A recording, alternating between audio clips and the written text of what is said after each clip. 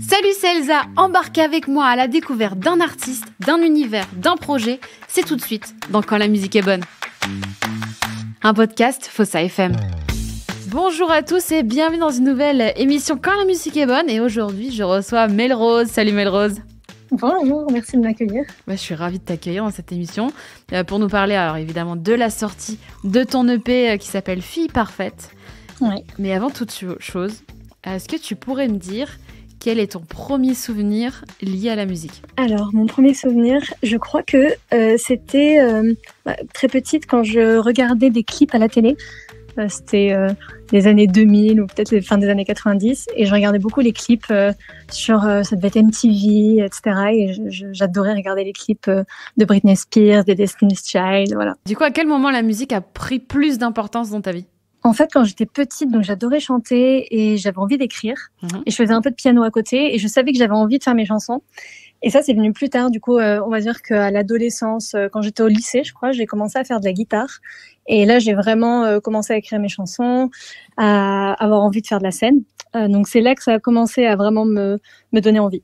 T'as eu quand même une envie euh, de faire ce métier-là très rapidement. Petite, j'avais vraiment envie de faire ça. Et puis, bon, c'est vrai que quand on est petit, on, on veut être chanteuse et, et ça passe euh, à l'adolescence. Ouais. Et, et moi, c'est plutôt revenu justement. euh, euh, je me suis rendu compte que c'était pas juste une envie euh, d'enfant, mais que vraiment c'était ma, ma, ma passion, quoi. Et, et du coup, bah, j'ai décidé de, de tester à ce moment-là quand j'étais quand j'étais adolescente. Et, et puis depuis, ça a toujours été ça a été plus ou moins important dans ma vie, mais en tout cas, j'ai toujours continué à écrire, à, à composer des chansons. Et tu parles de ton adolescence et tu l'as évoqué tout à l'heure. Euh, c'est la guitare du coup qui prend un peu plus de place dans, dans, dans, dans cette partie-là de ta vie. Et tu l'apprends comment? Tu l'apprends plutôt en autodidacte? En fait, euh, alors j'avais fait du piano étant plus jeune, mais du piano classique. Euh, donc j'avais des cours de, de solfège et des cours de, de pratique. Et, hum, et ça me plaisait de moins en moins à l'adolescence, puisque moi je voulais plutôt m'accompagner pour le chant. Et, et donc la guitare, ça m'a paru être l'instrument le plus abordable que je pouvais transporter, etc.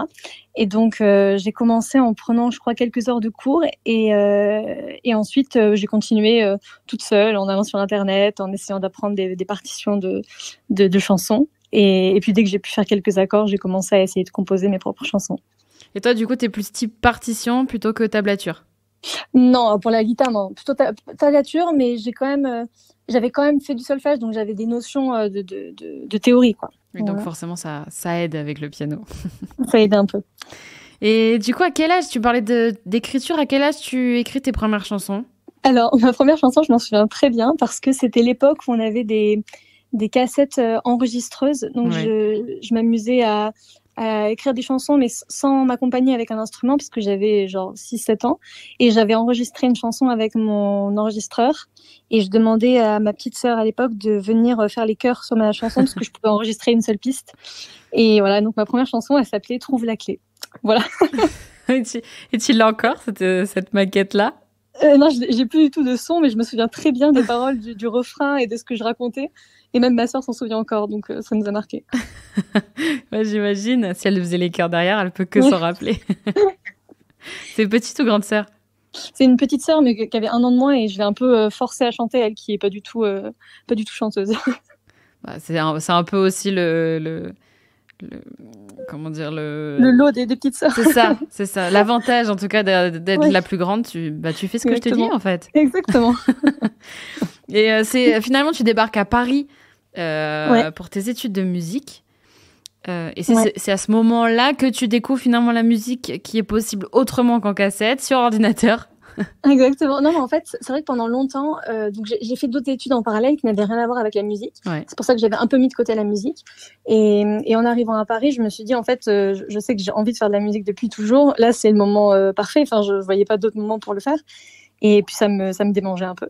Et, et en fait, jusqu'à ce moment-là, j'avais toujours que moi, je pouvais composer avec un instrument et chanter, mais tout ce qui était euh, bah, ordinateur, c'était beaucoup plus technique et donc pas accessible. Mhm. Et c'est en faisant une école de musique que je me suis rendu compte que c'était tout à fait accessible et surtout que bah, justement, euh, comme ça paraissait inaccessible, beaucoup de filles, de femmes euh, déléguaient ça à d'autres personnes en se disant moi je je sais pas je sais pas faire. Et donc là je me suis dit bah en fait je vais peut-être pouvoir apprendre et et en plus on a quand même un outil incroyable qui est Internet et YouTube pour pour commencer et au moins démarrer à explorer, expérimenter musicalement. Et parce qu'on a cette, cette chance-là d'évoluer dans une génération euh, finalement euh, avoir un tuto ou apprendre des choses, c'est facilement accessible quand même. Hein. Oui, alors ça ne veut pas dire qu'on devient euh, ingénieur du son, ah c'est comme des métiers, donc c'est absolument pas comparable à, devenir un professionnel du son, mais en tout cas ça permet de, de bah, aussi de trouver un peu sa patte artistique, de voir ce, vers quoi on va naturellement musicalement, et, et puis de développer une idée plus qu'avec une démo piano-voix ou guitare-voix, quand on a en tête des idées d'arrangement plus, plus complets. Quoi. Et d'ailleurs, euh, est-ce que entre les débuts, euh, bon, pas les tout débuts du tâtonnement euh, avec avec l'ordinateur, mais en disant qu'une fois que tu maîtrisais assez pour pouvoir faire sortir des choses qui te plaisaient, à ce que tu as mhm. sorti, aux chansons que tu as sorties dans ton EP, est-ce que tu as exploré d'autres styles ou vraiment tu avais quand même une petite idée et plus, effectivement, plus le temps a passé, plus tu l'as, tu l'as perfectionné ton, ton style, mais est-ce que ça t'a toujours trouvé un peu? Truc Alors au début, justement, je crois qu'au début, j'avais vraiment envie de faire. Euh, c'était un peu une chanson, un style. J'avais envie de tout tester et voir euh, ce qui me plaisait le plus. Et j'étais en train d'apprendre, donc j'étais assez curieuse de de d'aller dans des endroits qui n'étaient pas euh, de la pop, enfin la pop pure et qui étaient, je sais pas, avec d'autres influences musicales. Mais mais je revenais souvent même à au-delà de, de, du genre musical à, la même structure ou à des sons qui se ressemblaient. Donc euh, en fur et à mesure, ça s'est un peu précisé. Mais au début, j'avais envie de tester et j'expérimentais euh, plein de choses différentes. Je chantais en français, parfois en français et en anglais. Donc voilà, c'était assez euh, exploratoire au début. Et justement, est-ce que tu as des artistes qui, à l'époque, t'inspiraient peut-être et qui maintenant bah, sont loin de, d'être des artistes qui t'inspirent? Oula, c'est difficile ça comme question. Des artistes qui m'inspiraient. Mm. Quand, quand j'ai commencé à faire de, de, la musique sur ordinateur ou euh, non, de la musique tout court. Okay. Musique tout court. Euh, hmm. Bonne question. En fait, j'ai eu plein de phases où j'écoutais, bah, très jeune, j'écoutais beaucoup de pop euh, euh, adolescente. Voilà, je disais tout à l'heure Britney Spears, etc.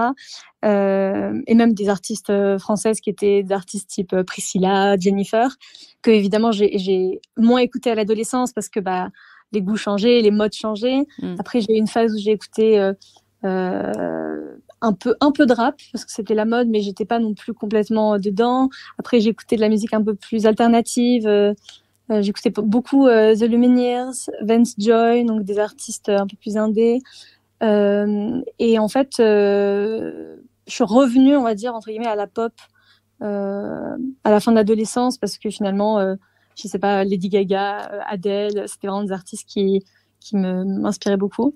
Euh, donc c'est des artistes très entre guillemets mainstream, même si le mot peut, est un peu un peu un peu galvaudé, mais euh, moi j'ai toujours écouté ouais, des, des, artistes très connus, on va dire, euh, et qui souvent, enfin, peuvent être considérés comme, je sais pas, peut-être moins, enfin, plus accessibles et, et moins, comment je pourrais dire ça, recherchés ou moins expérimentaux. Mais en fait, moi, c'est vraiment ce qui me plaît dans la musique aussi, c'est que ce soit très accessible. Donc, euh, donc je peux pas dire que j'ai complètement tourné le dos à des artistes que j'aimais euh, plus jeunes et que j'aime plus du tout aujourd'hui. et surtout, j'ai beaucoup de nostalgie quand je réécoute des chansons d'il y a, je sais pas, 10, 15 ans que j'écoute, enfin, que je réécoute aujourd'hui, j'ai toujours ce petit, ce petit côté nostalgique, quoi. En même temps, c'est tout, tout ça, tout ce mélange-là qui a, qui a fait que ton EP euh, est finalement sorti, il y a cette couleur-là. Oui, et puis euh, c'est ça, en fait, j'ai un peu décidé de l'assumer. Je pense que pendant longtemps, justement, je me disais, bon, bah, moi, j'aime bien écouter la musique très euh, pop, mainstream, et, c'est pas cool, c'est pas stylé, mais en fait, bah, moi, c'est ce que j'aime. et puis, d'ailleurs, si c'est très écouté, c'est peut-être que ça plaît quand même à des gens. Donc, donc je me suis dit, bah, je vais enfin, foncer dans ce qui, moi, me plaît et me, me correspond. Et donc, bah, c'est très pop. Il y a aussi des influences de chansons françaises. voilà. Donc, du coup, ton, ton EP euh, Fille Parfaite est sorti il y a euh, quelques temps euh, maintenant. Ouais. D'ailleurs, ce, le titre de Fille Parfaite, c'est un titre éponyme du premier titre qui ouvre cette EP. Et juste avant, avant que tu nous parles de, de ce titre, quand on parle de l'EP, je te propose qu'on l'écoute tout de suite. Tous les matins je me lève, je suis impec, pas toujours sans que des jours avec. Bonne humeur, bon élève, la bonne meuf, toujours le sourire aux lèvres, avoir les honneurs, rester la meilleure. Tous les jours la même chanson, je suis à fond, pas de trêve, même dans mes rêves, être en haut du podium, au summum, je me mets toute seule la pression, bonne réputation, capter l'attention. Papa et maman sont contents, ils me félicitent pour ma réussite, pour moi, rien me paraît trop grand,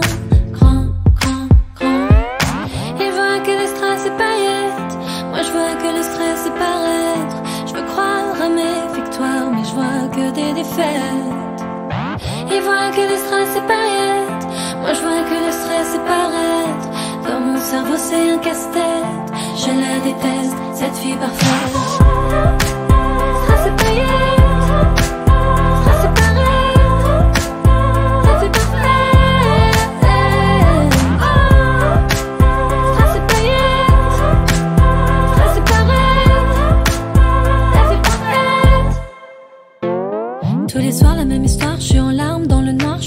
Cauchemars, je me sens seule, qui sera là si je gueule Personne pour me retenir, personne ne peut dire ce que je vais devenir. Tous les matins ça me réveille, jour sans fin, sans soleil, je peux plus me voir dans le miroir, idée noire, j'ai la tête penchée au-dessus des toilettes. Quand je me maltraite, personne ne m'arrête. Papa et maman sont distants, c'est mieux qu'ils se quittent, mais tout le monde est triste. Je croyais que c'était mieux d'être grand,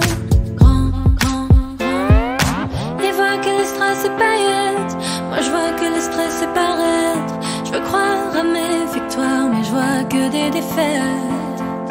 Ils voient que le stress est paillettes, moi je vois que le stress est paraître. Dans mon cerveau c'est un casse-tête, je la déteste, cette fille parfaite.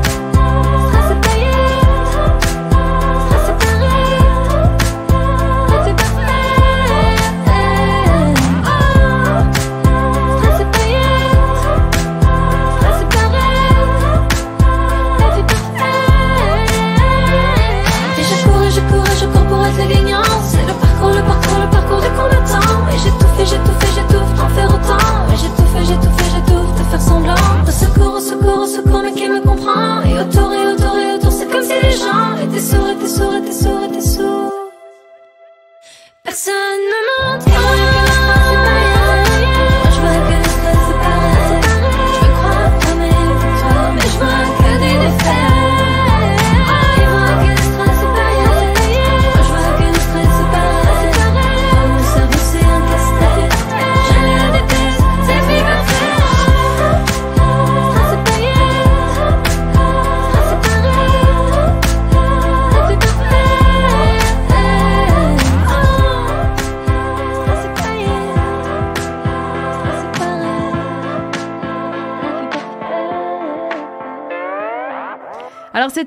titre Fille parfaite de notre invitée Mel Rose qui euh, d'ailleurs son EP qui est sorti et qui est disponible sur toutes les plateformes et s'appelle aussi Fille parfaite. Un, EP qui est composé de six titres. Euh, mais avant de parler de ces titres, je veux que tu me parles de cette cover euh, en mode tête à coiffer. Comment est-ce que tu as eu cette idée-là? Euh, bah, écoute, c'est en parlant avec une amie euh, qui, qui euh, a toujours de bonnes idées visuelles. Et en fait, je lui, je lui racontais que j'avais plusieurs idées pour la pochette, mais qu'il n'y en a aucune qui me plaisait vraiment. Et je voulais rester dans ce côté très nostalgique de l'enfance. Euh, puis je lui disais, il y a vraiment une résurgence de, de la mode de Barbie cette année. Et moi, Mm. j'avais déjà bah, ce truc très rose. Et j'ai dit, mais c'est marrant parce qu'avec Fille Parfaite, euh, j'ai envie de montrer ce côté un peu creepy, enfin presque un petit peu euh, grinçant de la fille parfaite, mais dont on a l'impression qu'elle euh, qu'elle cache quelque chose. Et, euh, et donc la tête à coiffer nous est venue et j'ai trouvé ça génial comme idée. Et en même temps, euh, ça, ça peut être interprété différemment. Quelqu'un m'a dit, ah, on, on dirait une sirène qui sort de l'eau. Enfin, je, Mm. voilà, je trouve que ça peut quand même euh, euh, laisser un peu cours à l'imagination. Et j'aime beaucoup euh, le, le fait que je, je souris, mais que j'ai un sourire extrêmement figé et inquiétant, euh, pas du tout naturel. Euh, et c'est marrant parce que souvent sur les, ph- enfin, les, les photos et les pochettes d'albums, on ne sourit pas du tout dans la musique. Et donc là, j'aimais bien le fait de faire ce sourire un peu bizarre. C'est vrai, c'est vrai que tu soulèves un bon point. On- Il y a très peu de gens qui sourient sur les pochettes d'albums. Bah, tu vas au moins contraster avec ça, c'est bien. Ouais. Et du coup, est-ce que tu peux nous parler de, de ce tout premier titre qui ouvre ton EP et qui s'appelle Fille Parfaite? Mais écoute, c'est la dernière chanson que j'ai écrite en fait pour l'EP. J'avais déjà, en fait, j'avais déjà fait mes maquettes pour les autres chansons que j'avais retravaillées en studio, réenregistrées. Et, euh, je, sentais qu'il manquait une chanson euh, pour qu'il y ait un peu une sorte de lien, euh, de cohérence dans tout le projet. Et, euh, quand j'ai commencé à faire la démo de Fille Parfaite, je, l'ai faite un peu différemment des autres chansons, dans le sens où j'ai travaillé la production, du coup les arrangements, euh, en même temps que je l'écrivais, que je la composais. Et, et en fait, le titre, enfin, je l'ai eu dès le début de la chanson, et après, j'ai un peu brodé autour de ça. Et j'ai su que je voulais directement que ce soit euh, la chanson. Euh, la, je savais pas si elle allait être la première chanson, mais en tout cas euh, la chanson importante euh, mise en avant dans le projet. Pour toi, c'était évident d'appeler ton premier EP par le titre d'une chanson à l'intérieur euh, pas forcément, j'avais pensé à d'autres titres, mais j'avoue que je revenais toujours à Sophie Parfaite et je, je voyais pas trop euh, comment l'éviter. C'était un peu une évidence d'aller vers, vers Fille Parfaite. Je le disais tout à l'heure, donc il y a six titres dans, dans cette EP. Un, c'est euh, Fille Parfaite. Est-ce que ça a été compliqué pour toi de trouver euh, l'ordre des titres pour un EP Parce qu'en général, on aime bien raconter une histoire ouais. et on, on, hésite parfois. Eh ben, j'ai pensé que ça allait être compliqué et finalement, euh, la cohérence, ça s'est faite surtout sur la, la musique euh, que l'enchaînement des titres se fasse naturellement. Mmh. Et, euh, et en fait, euh, aussi ce que je, je trouve important, en tout cas intéressant, c'était euh, de prêter attention aux, aux, paroles qui débutent le P et aux paroles qui terminent le P. Et donc j'ai aussi, enfin ça a fait partie des, des raisons qui m'ont poussé à mettre Fille parfaite en premier et la chanson Un été en, en dernier. Donc sinon ça s'est fait plutôt assez naturellement. Tu fais les choses assez naturellement, toi, j'ai un peu l'impression quand même. Tu suis bah, ton en instinct. Fait, souvent je, je, veux beaucoup euh, intellectualiser ou réfléchir, mais, euh, mais ce qui vient le plus naturellement, c'est ce qui fonctionne souvent le mieux, oui. Et le deuxième titre euh, de ton EP, il s'appelle Fond d'écran. Et non, ouais. il, et il parle pas de ceux qu'on regarde toutes les cinq minutes sur notre smartphone ou sur un autre appareil, mais plutôt d'une rupture qui finalement arrive soudainement. Ouais. Mais en fait, j'aimais bien euh, aborder la, la, la, rupture, mais sous cet angle de vue de, euh, bah, de nos téléphones en fait qui, qui sont quand même euh, assez importants au quotidien. Et, et je me disais qu'un symbole de d'une rupture c'est je pense bah, le fait de, de vouloir faire sortir une personne de sa vie. Et, et ça passe assez trivialement par le fait de changer son fond d'écran. Et je trouvais ça marrant de de se concentrer sur ça alors que ça peut paraître extrêmement euh, superficiel et futile de parler d'un fond d'écran quand on est le cœur brisé quoi. Je crois que je l'avais jamais, euh, jamais vu comme ça, en tout cas ce thème-là abordé euh, de cette manière. Bah, c'est vrai que, enfin, je, je, je, trouvais ça marrant même d'aller un peu plus loin, de dire il y a le fond d'écran, mais en fait il y a aussi les conversations, il y a les photos et, et tout nous ramène à, à, au passé, et donc ça peut être difficile aussi d'aller de l'avant quand, quand on, on, a tout ça qui nous, qui nous rappelle la personne avec qui on était. Il y a aussi une autre chanson qui est dans ton EP euh, que tu as écrite il y a quelques années. Et la chanson s'appelle Pourquoi. Ouais. Euh, c'est une chanson que tu as écrite quand tu te sentais euh, seule et perdue. Est-ce que tu aujourd'hui tu la vois comme finalement une sorte de thérapie quand tu l'as écrite? Euh, En vrai, je crois que oui, parce qu'il y a beaucoup de chansons que j'écris a posteriori, ou en tout cas j'ai besoin que ce dont je parle est un peu mûri dans mon esprit pour que j'en parle bien. Et elle, pour le coup, c'est un peu l'inverse. J'ai vraiment écrit sur le moment quand euh, je me sentais pas bien. Et, et je sais qu'en la finissant, je me disais qu'il y avait quand même une émotion euh, qui, qui, passait dans la chanson. Euh, mais c'était un peu inconscient et je, je m'en suis rendu compte un peu après coup que, en effet, ça m'avait fait du bien d'écrire cette chanson. Et quel regard, du coup, tu portes sur euh, celle qui l'a écrite et celle que tu es aujourd'hui? Euh, bah, elle, est, elle est éloignée et pas éloignée. Enfin, c'est toujours la, la, la, question de est-ce qu'on passe vraiment à, enfin, à autre chose? Est-ce qu'on mm. on, on, est différent de, de soi-même? Est-ce que c'est un, une phase de ma vie ou est-ce que c'est aussi une manière de, de fonctionner, d'être nostalgique, de d'avoir euh, de manquer de confiance en soi par période? Donc je pense que c'est des choses qui sont assez chroniques aussi.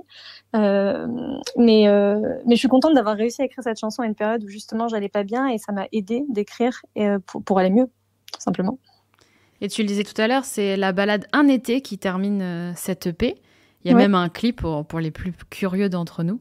Une balade pour finir euh, cette EP, c'était quelque chose dont tu avais envie? Euh, Oui, j'avais bien envie de finir. En tout cas, je, trouvais que bah, le début de l'EP euh, était assez énergique avec Fille Parfaite et j'avais envie de finir sur quelque chose de plus doux. Même si j'ai hésité au départ à, à, mettre un été dans le l'EP parce que je trouvais qu'elle était en effet plus calme que les autres chansons. Mmh. mais je, je, trouvais ça, en fait, j'ai trouvé ça intéressant de la rajouter à la fin. et aussi parce que je disais tout à l'heure, j'avais envie que les paroles qui finissaient l'EP montrent une sorte d'évolution entre le tout début et la fin. Euh, parce qu'en fait, je commence le P en disant euh, tous les matins je me lève, je suis un pec, pas de jour sans, que des jours avec. Mhm. Et je finis euh, avec la chanson Un été, dont les, les dernières paroles sont euh, On se dit que ça va passer comme une averse en été, on se dit qu'on finira par s'y habituer.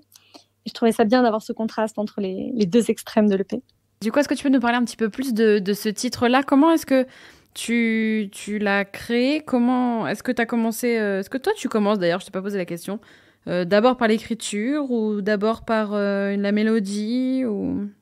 Ah bah alors souvent, ce qui marche le mieux, c'est quand je fais la mélodie et l'écriture en même temps sur euh, une phrase, en fait, que j'ai une idée de, d'une phrase ou d'un, ou d'un mot même, mais qui vient avec une mélodie.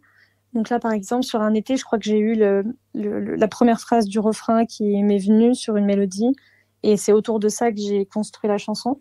Et pour le coup, cette chanson-là, c'était un piano-voix, euh, euh, vraiment une balade pure au tout début. Et ensuite, j'ai créé les arrangements qui allaient avec.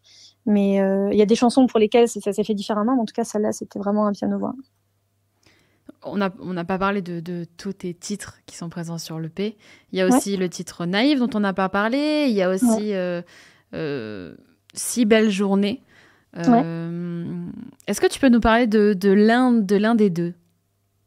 Euh, ben, écoute, du, duquel bah, Alors, Nate est déjà sorti, mais Si Belle Journée, je peux en parler parce que j'en ai peu parlé vu qu'il n'était pas en, single avant la sortie de, de l'EP. Ouais. Euh, si Belle Journée, bah, c'est une, chanson que je voulais euh, assez progressive dans, dans les arrangements. Euh, J'avais envie que ce soit. Au début, en fait, ça a commencé pareil, un peu comme une balade piano-voix. Et je voulais qu'il y ait un peu une énergie qui se dégage à un moment donné. Et, euh, et je trouvais ça intéressant d'avoir un peu un contraste entre euh, des, des, couplets euh, très, très doux, très calmes, mais en même temps assez euh, mélancoliques, et puis avoir des, des refrains post-refrains beaucoup plus produits, qui, qui envoient beaucoup plus d'énergie. On ressent en fait un peu comme s'il y avait une soupape qui explosait et qui va un peu avec les paroles de, la chanson. Euh, maintenant que l'EP est sorti, prochaine étape c'est quoi? C'est l'album ou tu as plutôt envie de faire du live? Euh, bah, J'ai envie de faire euh, les deux. Enfin, en tout cas, j'ai envie de continuer à, à faire des, des, dates de concert. Mhm. euh, et j'ai aussi envie de, de, retourner sur mon ordinateur et, et, en studio faire de nouvelles chansons. Je ne sais pas si ce sera un album, un EP, euh, quel, quel, type de projet ce sera. Mais j'ai plein d'idées que, que je garde dans un coin de, de mes notes et de mon dictaphone que j'ai envie de, de vraiment mettre en, en pratique. Tu parlais tout à l'heure que tu avais récupéré euh, l'idée de d'utiliser l'image de la poupée, de la tête à coiffer en tout cas pour euh, pour l'image de fille parfaite. On n'a pas parlé euh, de celles et ceux qui t'entourent peut-être quand tu quand tu crées. Tes musiques, tu les fais entièrement seule ou tu fais appel à des personnes qui t'entourent? Alors pour euh, faire mes maquettes, mes démos, j'ai tout fait toute seule au départ. Et ensuite euh, je, je, voulais bah, justement aller en studio, réenregistrer les voix, euh, retravailler les, les, arrangements. Et donc j'ai travaillé avec euh, Simon Blévis qui est un ingénieur du son et qui est musicien, qui, qui joue tout, de la batterie, de la basse, de la guitare, du piano. Et euh, ensemble du coup on a retravaillé toutes les prods de mes chansons. Et on a réenregistré les voix et c'est lui qui a fait le mix des chansons. Et, et pour la partie visuelle j'ai travaillé avec plusieurs personnes, avec beaucoup de, de femmes super euh, super douées. Là, j'ai tout à l'heure, j'ai une amie qui euh, à plusieurs moments est intervenue pour me donner des idées euh, visuelles voilà, pour le mm. projet. Et ensuite, j'ai travaillé avec des photographes pour les différentes pochettes et réalisatrices pour les clips. Donc donc entourée de regards féminins et, et j'ai vraiment adoré bosser avec toutes ces filles. Tu parlais aussi tout à l'heure des femmes qui n'osaient pas, hein, pendant tes études en tout cas, prendre prendre pleine possession en tout cas de l'ordinateur euh, comme un mhm. comme un outil pour la musique. Et là tu nous parles de, de regards féminins qui t'ont entouré jusqu'à la sortie de l'EP et qui t'entourent encore. Euh, est-ce que c'est important pour toi de t'entourer de regards féminins euh, dans pour ton projet ou tout court? Ouais en, en, vrai notamment pour la partie visuelle euh, alors déjà, il faut savoir que pour la partie musicale, il y a peu, il y a des femmes évidemment qui, sont euh, productrices, compositrices, mhm. ingénieurs du son, mais il y en a beaucoup moins que des hommes. Et, euh, et, moi, j'avais envie de trouver quelqu'un qui comprenait la direction artistique que j'avais en tête, etc. Donc, euh, ça s'est fait aussi au fit humain, simplement. Oui. et pour, pour, la partie visuelle, je, je pense que j'étais bah, plus naturellement plus à l'aise avec le fait de travailler avec des, femmes. Et ça s'est fait aussi naturellement, c'est-à-dire qu'elles ont compris ce que j'avais en tête, parce que certainement, on a à peu près le même âge, donc on a à peu près les mêmes références. Donc, ça s'est aussi fait de manière assez intuitive et, je pense que c'est des filles qui ont accroché au projet euh, parce que euh, c'est ce que je proposais artistiquement. Mais, euh, mais oui, je trouve ça important de, pouvoir mettre en avant des, regards féminins et, de s'entourer de, de, femmes. Ouais. C'est plus simple pour toi de travailler avec des femmes pour le côté visuel euh, qu'avec des, des hommes des hommes? Je sais pas si c'est plus simple, j'ai pas tant de points de comparaison, donc je pourrais pas vraiment dire, mais je sais que en tout cas j'étais à l'aise avec le fait de travailler avec des femmes et que euh, j'étais pas, je les connaissais pas avant de travailler avec elles, donc j'ai vraiment euh, découvert ces filles euh, quand on faisait des photos ou des tournages, et, mhm. euh, et, ça s'est super bien passé. Et je pense que j'étais peut-être plus à l'aise naturellement parce que c'était des filles qui, enfin, qui pouvaient devenir mes amies, donc il y avait ce côté, cette proximité assez, assez simple et naturelle. Est-ce qu'il y a une salle de, de concert, parce qu'on parlait concert tout à l'heure, qui te fait, qui te fait rêver ou que tu aimerais mettre absolument sur ta liste de concerts avec oh, écrit Melrose? ça, je le mets, je le mets dans mes, dans mes petites notes à moi, mais je ne le dis pas. Mais après, il y a des salles que j'aime beaucoup, euh, où j'aime bien aller voir des concerts. Euh, mais après, j'ai, bien sûr, j'ai plein de, plein d'idées de salles où j'aimerais jouer un jour, mais je je vais pas révéler mes, mes rêves. Comme ça, ils sont, je peux faire des vœux euh, quand je passe sous un pont. euh, j'aime bien clôturer cette, cette émission par cette question. Que dirais-tu à la Melrose qui n'a que 5 ou 6 ans, si tu pouvais? Et bien de quelque part de faire ce que je fais maintenant, c'est-à-dire de continuer à, à, faire ce qui ce qui l'anime, ce qui la passionne et et ne pas euh, ne pas s'empêcher d'avoir envie de vivre ses rêves et de continuer à, à, à avoir confiance en elle et à suivre son intuition. c'est important, c'est vrai. Tu as tout à fait raison. Merci beaucoup, Melrose, de, de nous avoir partagé ton univers, de nous avoir parlé de ton EP qui s'appelle Fille Parfaite. Merci beaucoup. On se donne rendez-vous très vite. Et en attendant, alors pour pas louper ton actualité, eh ben rendez-vous sur tes réseaux sociaux, arrobase je suis Melrose. Exactement. Je te propose qu'on se quitte euh, sur l'un de tes titres de l'EP, mais je te laisse l'introduire et je te, je te, laisse même le choisir. Euh, et eh bien on va finir avec euh, Fond d'écran. Euh, c'est une chanson, comme on a dit tout à l'heure, qui raconte une rupture et qui parle du, du rapport qu'on a à notre téléphone quand on se, on se sépare. Ben merci, on l'écoute tout de suite. J'ai changé mon fond d'écran hier quand tu m'as quitté. Je voulais effacer ton visage, toutes les traces de ton passage. Ça m'a un peu soulagé. Un instant, j'ai oublié. Puis les larmes sont montées, on n'efface rien en une journée.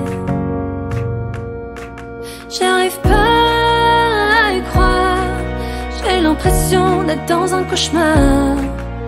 J'ai changé mon fond d'écran, mais je passe mon temps à scroller dans les photos, les textos, tous tes mots pour trouver un indice que c'est pas terminé. Je m'accroche à cette pensée, comme on s'accroche à la dernière branche avant de tomber.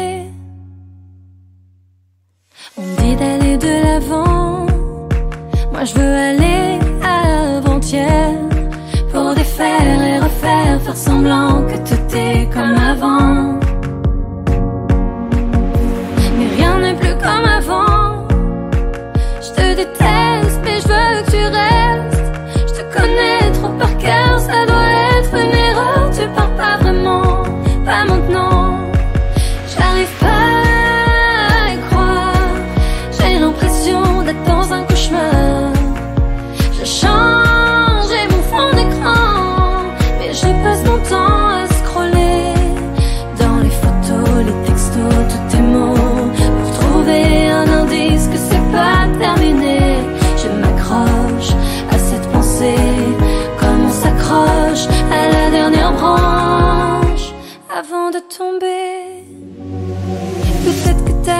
déjà jeté tous nos textos et tous nos mots, nos discussions interminables, minables que j'étais d'être aussi vulnérable. Peut-être que t'as déjà jeté toutes nos photos, mon numéro. Peut-être que pendant tout ce temps, j'ai jamais été ton fond d'écran.